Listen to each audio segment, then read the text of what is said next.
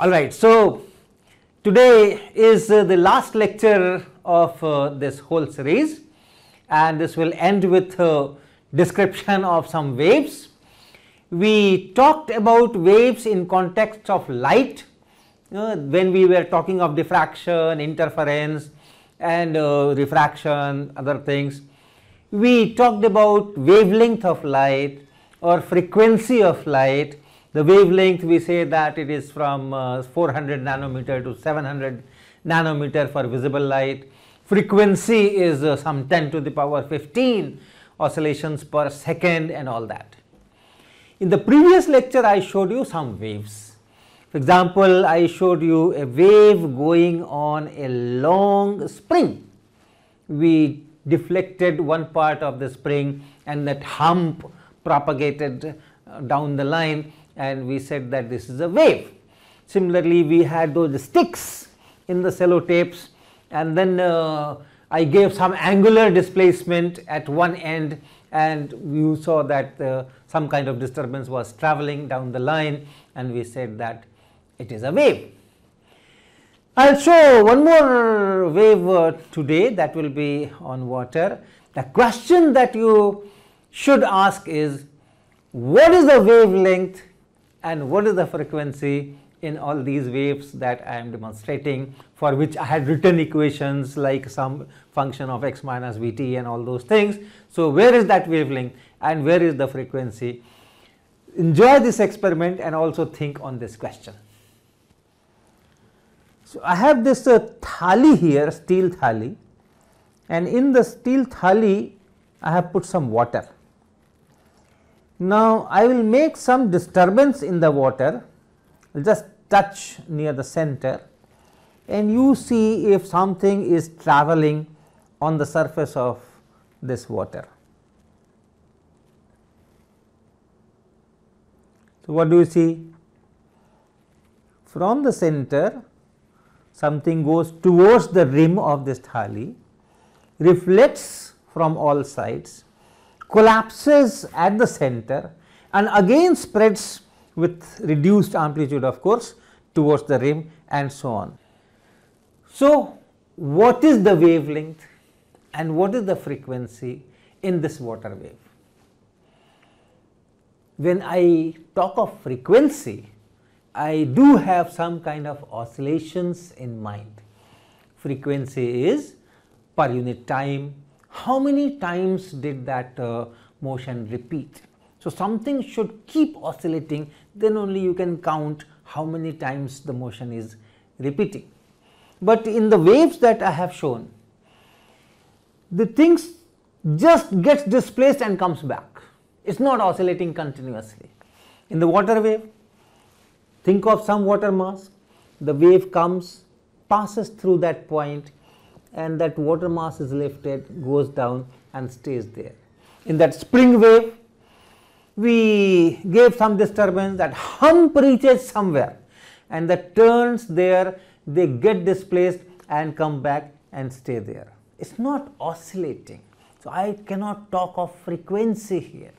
I cannot talk of wavelength here. At a given instant of time, I do not have repetition of the pattern. So, I cannot talk of wavelength.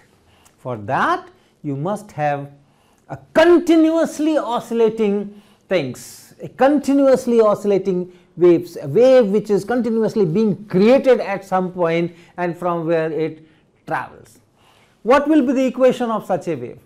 For oscillations, you know, for a particular frequency, the oscillation, simplest oscillation is your simple harmonic motion.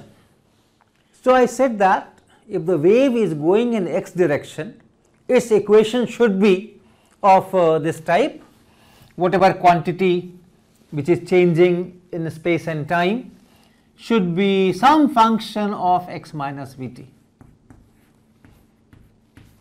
And all the experiments that I had shown will confirm to this if you take proper x axis and all that and make some approximations of course. Now, if you want oscillations at a particular frequency, then uh, the functional form of this gets uh, narrowed. One very common simple easy to deal in mathematics and very very important.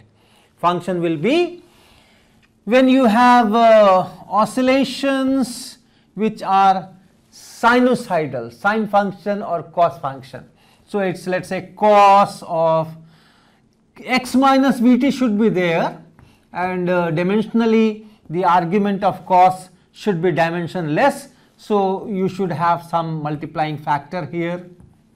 It is like this which you can also write a cos kx minus omega t where k into v is omega. Now this is uh, you are familiar with this there is a kind of a simple harmonic oscillations. If you fix some x in your medium some portion some small portion so fix that x it varies with time and that oscillations is simple harmonic oscillations.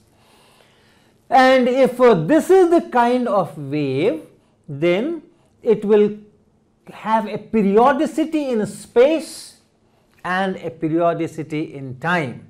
At a particular instant if you see it changes with x and that also is uh, this cosine function. So, you will have periodicity in the space and therefore, this cos function because of this cos function if you plot it will be like this. If you plot cos kx minus omega t for a given t and this side is now x. And this is wavelength. This is wavelength. And you fix x and c as a function of time. Then also it oscillates. And that will be again similar looking function. Cos kx minus omega t. And this time for a given x.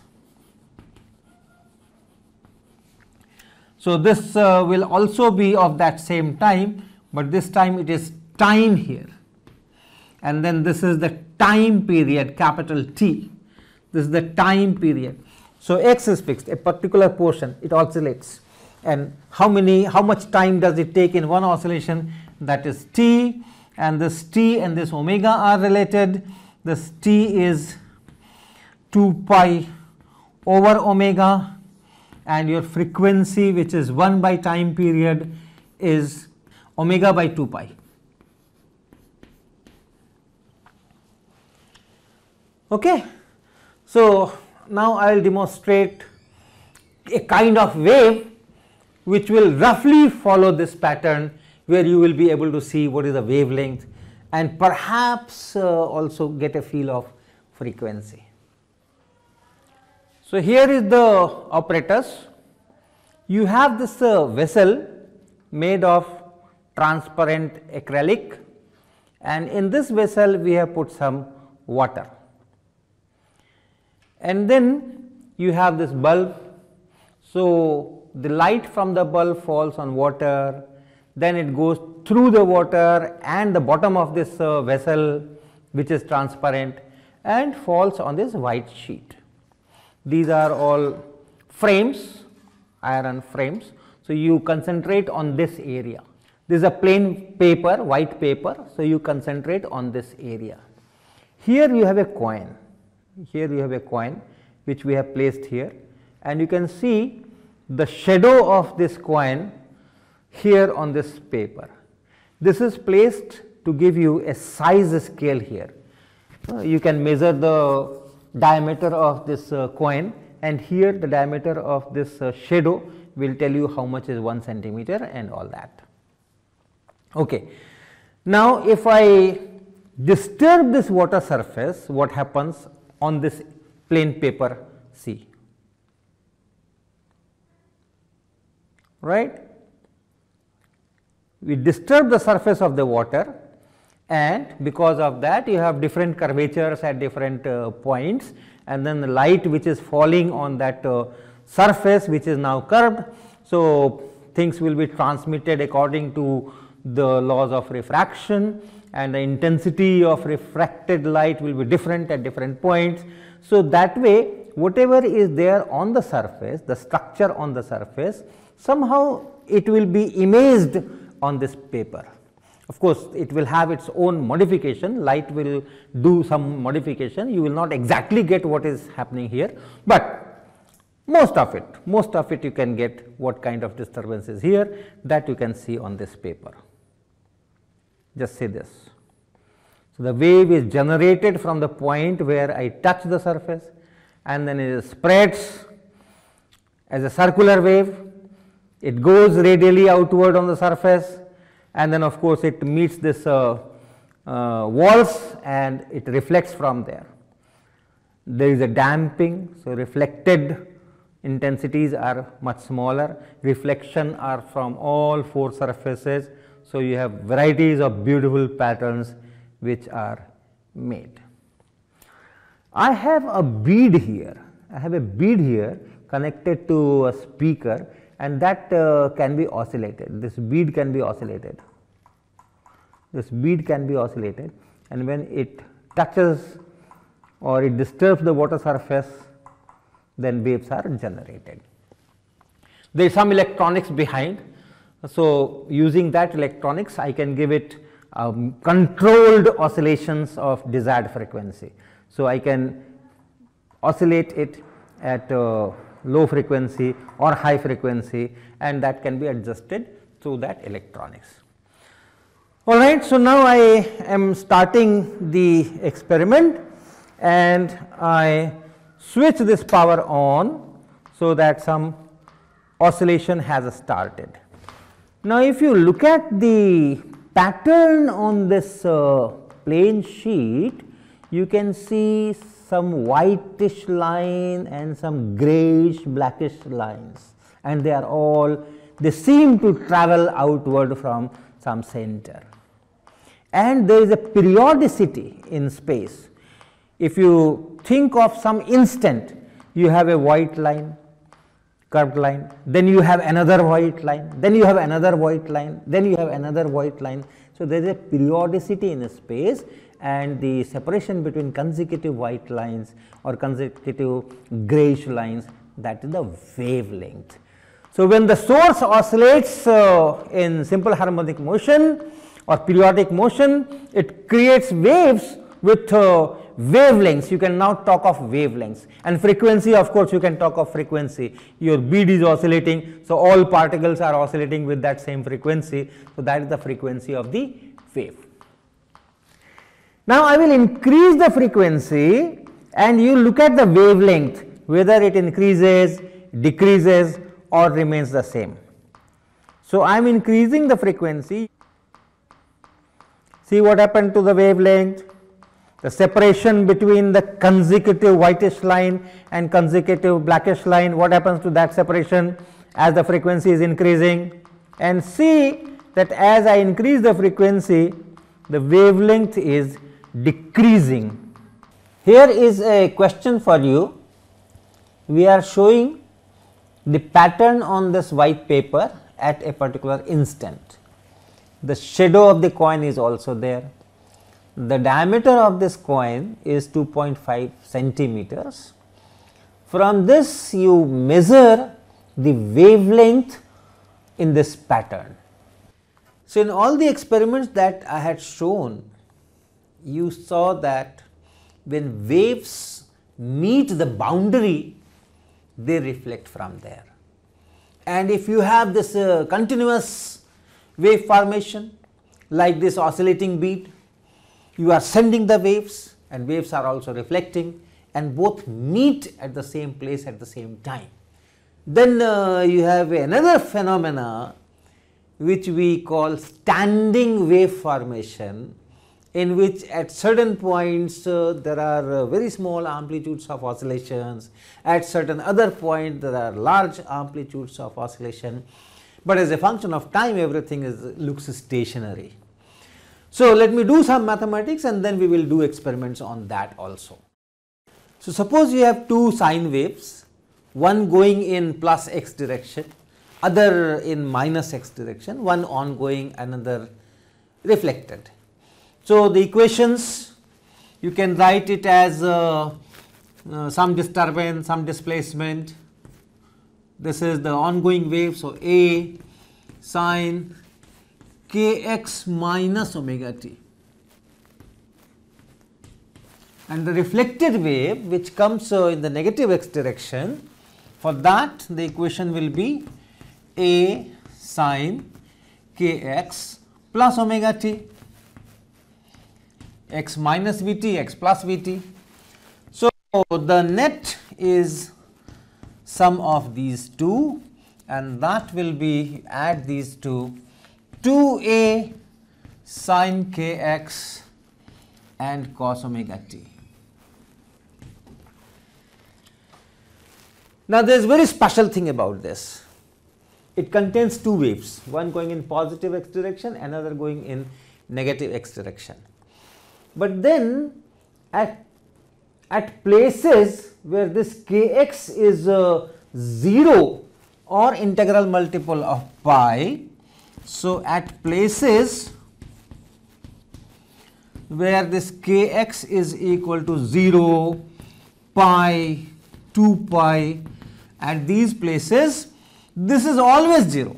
This net displacement net disturbance is always 0 for all time any t any t if this kx is an integral multiple of pi this is 0. So, at these positions your displacement is 0 always. These positions are known as nodes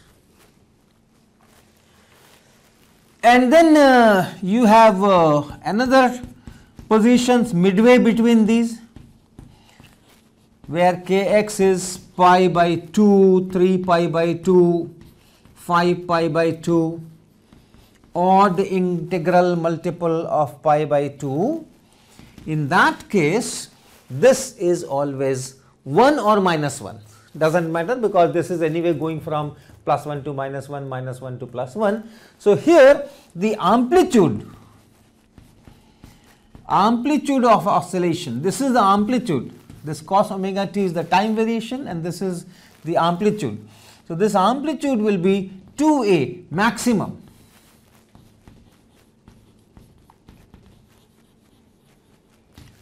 So, at certain positions particles are vibrating uh, with large amplitudes at certain other positions they are not vibrating at all.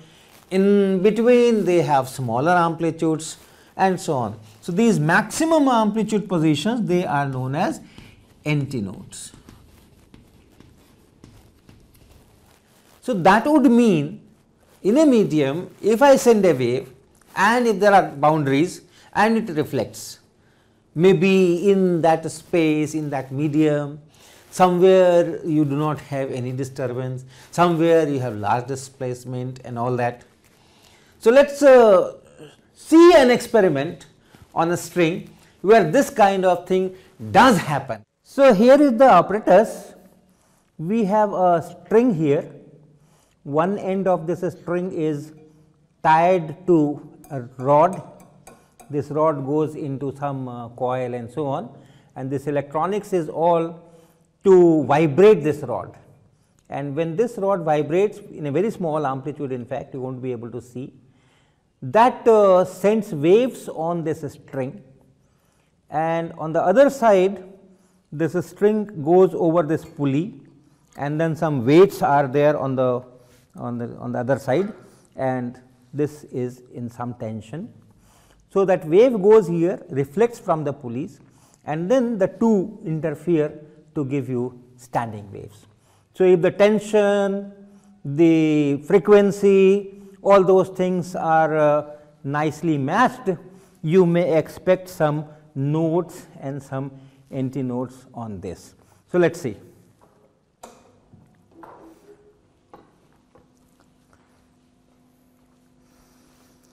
So, now you can see in the middle the string is vibrating with uh, somewhat uh, large amplitude, whereas if you go towards the end that amplitude of oscillation decreases and here at the end here this is almost 0. So, this is node here in the middle you have anti node and then if you go on this side again the amplitudes decrease and finally here it is again a node. So, this is the fundamental mode of vibration for this string. So, here is a question for you. We are showing you the shape of this uh, string as seen by the camera at a particular instant and you see the edge portion is uh, much sharper than the middle portion near that uh, antinode region in the middle region. So, the question is is the same string which is going up and down why at the edges this uh, seems to be much brighter than in the middle. Okay, so here you see another set of parameters. We have changed the tension by changing the weights on the pan hanging from the pulley. We have also changed a little bit this length also and uh, you can see that now this point is not vibrating at all. This is a node here no one is holding this point, no one has clamped this point. This is free to vibrate, but even then it does not vibrate. So, this is a node, this is a node where it is tied, this is a node where it is meeting the pulley and in between two nodes here you can see the amplitudes are large. This is an antinode, this is another antinode so, in this configuration when the string is vibrating in two loops you have 3 nodes and 2 antinodes because the frequencies, the tension and other things are matched accordingly.